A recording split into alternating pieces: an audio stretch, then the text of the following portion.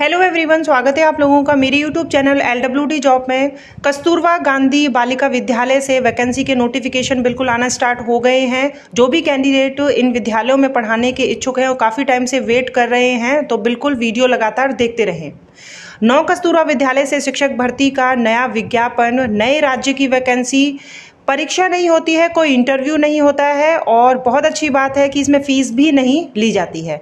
Salary जो है पहले से बढ़ गई है, पहले ट्वेंटी वन थाउज़ेंड के लगभग जो है इसमें सैलरी दी जाती थी, अब जो है इसमें सैलरी बढ़ी है twenty four thousand two hundred salary हो गई है, साथ में यहाँ पर रेजिडेंस आवास जो है वो फ्री है।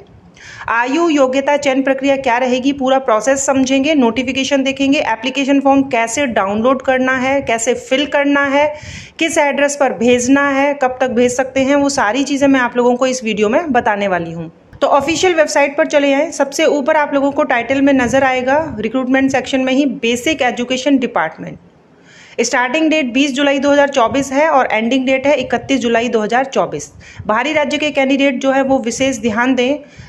कई कैंडिडेट कहते हैं कि हमारा एप्लीकेशन फॉर्म जो है हमने फिल किया, लेकिन कोई सूचना नहीं आई।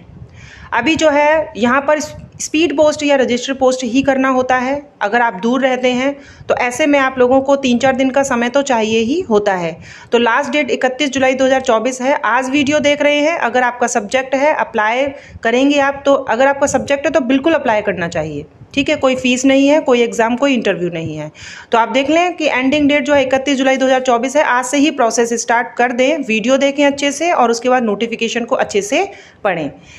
चलिए, मैं आप लोगों को बता देती हूँ कि इसमें जो है क्वालिफिकेशन आयु क्या मांगी गई है। सबसे पहले जो है यहाँ पर फुल टाइम टीचर यानी यहाँ पर आप लोगों की salary twenty four thousand two hundred है प्लस यहाँ पर रेजिडेंस आप लोगों को फ्री रहेगा ही। इंग्लिश टीचर की दो वैकेंसी है, गणित दो वैकेंसी है, विज्ञान की एक वैकेंसी है। आरक्षण की श्रेणी भी आप देख लें। ये ज़रूर आप लोगों को मेंशन करना होता है एप्लीकेशन फॉर्म में। ठीक है कि आप जो है किस आरक्षित वर्ग से हैं। यहाँ पर आप देखें ई e में कोई भी जो है वैकेंसी नहीं है और अन्य पिछड़ा वर्ग में भी नहीं है। बाकी जो है इसमें जनरल कैटेगरी में और एस सी में। यहाँ आप देख लें, ठीक है? निर्धारित योग्यता यहाँ पर आपके यहाँ सिक्स टू एट्थ क्लास को पढ़ाने के लिए ही जो है यहाँ पर फ़िलहाल जो है वैकेंसी आई है। कुछ समय बाद आप लोगों को नाइन टेंथ की भी वैकेंसी देखने को इसमें मिलेगी। तो उसका जो प्रोसेस है वो बिल्कुल चल ही रहा है नाइन टेंथ को पढ़ाने के लिए। तो ध्यान जो है आप बिल्कुल वीडियो रेगुलर देखते रहें न्यूज़पेपर वगैरह रोज़ पढ़ते रहें। कोई भी इंफॉर्मेशन होती है जॉब से रिलेटेड यहाँ पर जो है ग्रेजुएशन में आपके ये सब्जेक्ट आपने पढ़ा हो और साथ में बीएड आपने किया हो और उच्च प्राथमिक स्तर का टेट आपने सी टेट किया है, आपके राज्य का टेट क्लियर किया है तो ये यहाँ पर मांगा गया है, ठीक है? हाफ़ टाइम टीचर्स के लिए, यानी इनको जो है बिल्कुल घर जाने दिया जाएगा, जैसे छुट्टी हो जाएगी बच्चों की तो ये घर चले जाएँगे। सैलरी भी इनकी कम रहेगी। फ़िज़िकल एजुकेशन टीचर की वैकेंसी है। कला क्राफ्ट एवं संगीत की वैकेंसी है। कंप्यूटर शिक्षा की वैकेंसी है। सैलरी इसमें अंशकालिक शिक्षिका को twelve thousand one hundred eighty one salary रहेगी। फ़िज़िकल एजुकेशन के लिए यहाँ पर B P Ed C P Ed D P Ed वाले अप्लाई कर सकते हैं। कला क्राफ्ट एवं संगीत के लिए स्नातक की उपाधि के साथ में प्रशिक्षण उपाधि आपकी जो है इन विषयों में होनी चाहिए।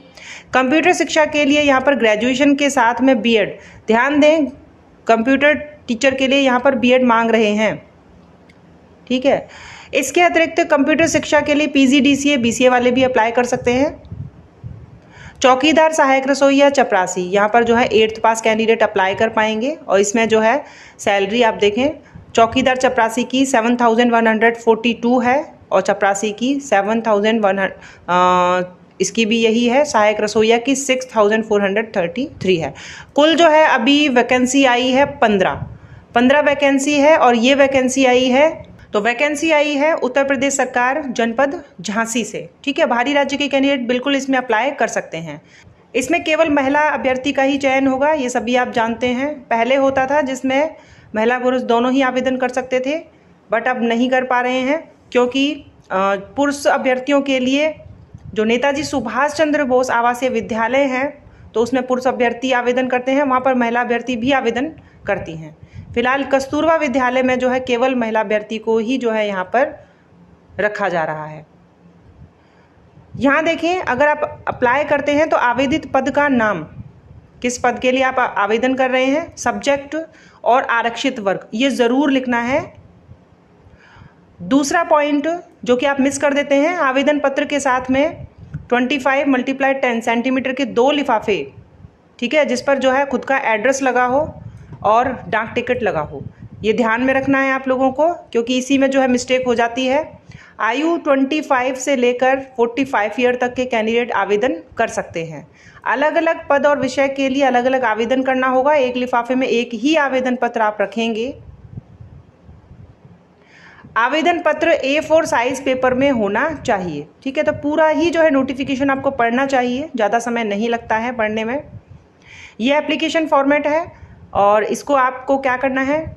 ऑफिशियल वेबसाइट का लिंक आप लोगों को दे दिया जाएगा। सबसे पहले आप लोग यहाँ चले आएँ।